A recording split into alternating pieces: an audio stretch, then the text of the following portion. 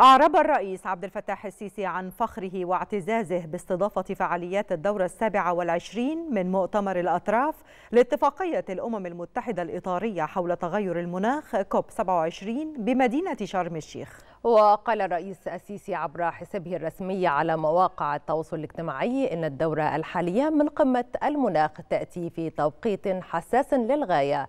يتعرض فيها العالم لأخطار وجودية وتحديات غير مسبوقة تؤثر على بقاء الكوكب ذاته والقدرة على المعيشة عليه. وأضاف الرئيس السيسي أن هذه الأخطار وتلك التحديات تستلزم تحركا سريعا من كافة الدول لوضع طريق للإنقاذ تحمي العالم من تأثيرات التغيرات المناخية.